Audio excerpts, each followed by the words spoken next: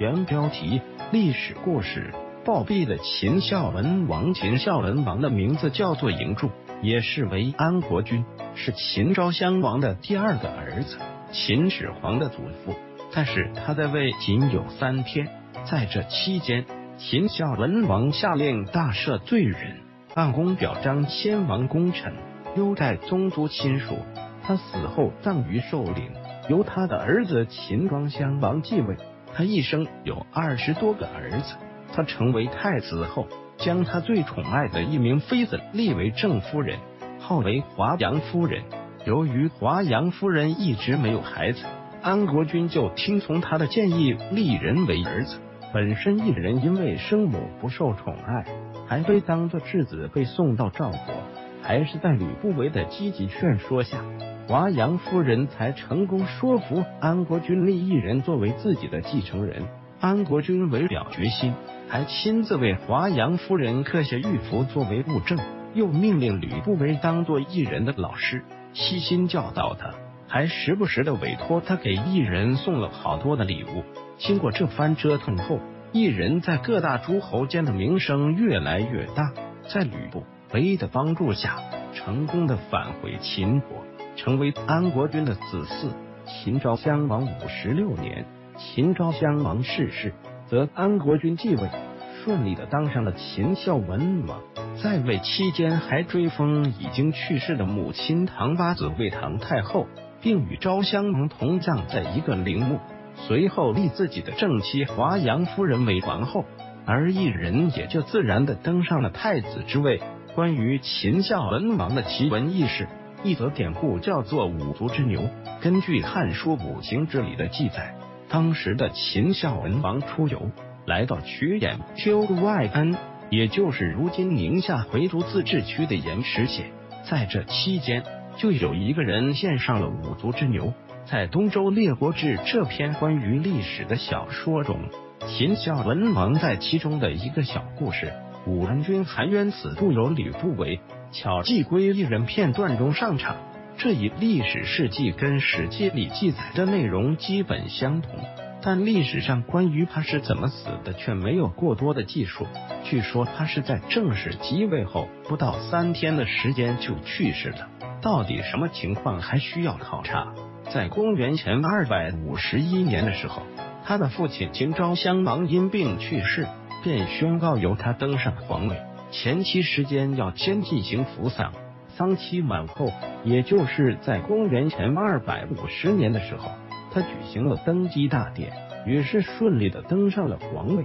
可是根据历史上的记载，他在正式当上皇上后，没过三天就去世了，并安葬于七垂。秦孝文王在死时五十二岁，在当时已是高龄。至于为什么这么快就去世了，其原因也是捉摸不定。为此。秦孝文王的死因引起了后人的猜想，从正史上看是看不出正真的死因，从野史的角度来看又不完全准确。总之，各种奇葩的说法都有，能让大家相信的并不多。第一种说法，从事件本身来分析，唯一能想到的就是吕不韦，他也许为了想让自己权倾朝野，所以打着要扶持太子。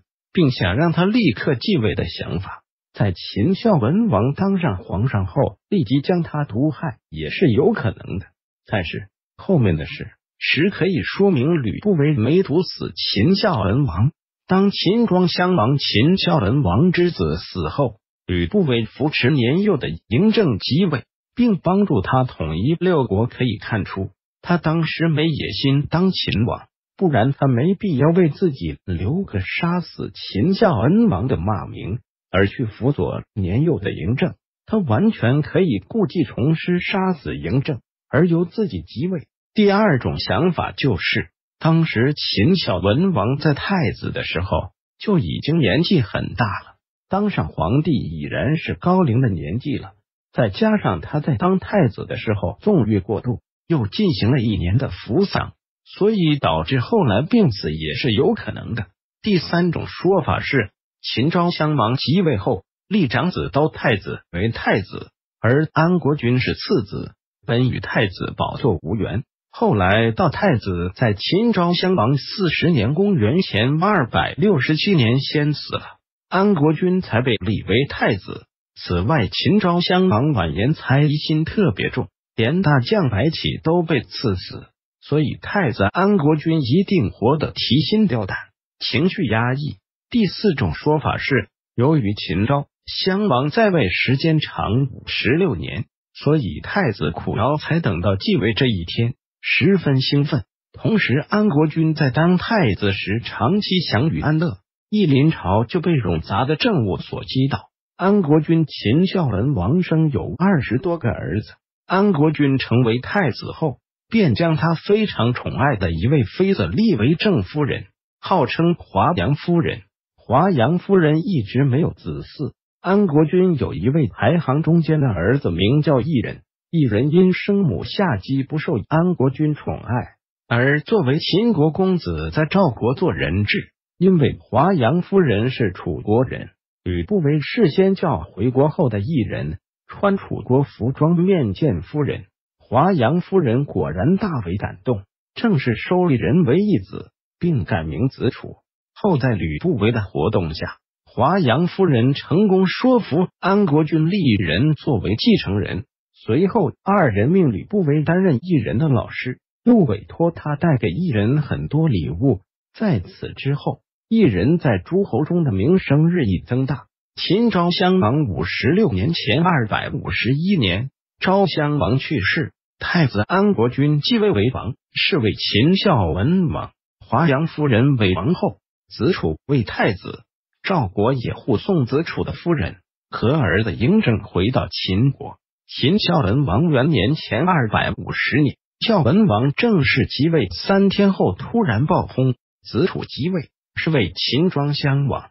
秦庄襄王继位后，下令大赦天下，按功表彰先王功臣，优待宗族亲属，不施于民，并尊生母夏姬为夏太后。养母华阳夫人为华阳太后，任命吕不韦为姜邦，封文信侯。赵孝成王也主动派使者将赵姬母子送还来交好秦国，返回搜狐查看更多责任编辑。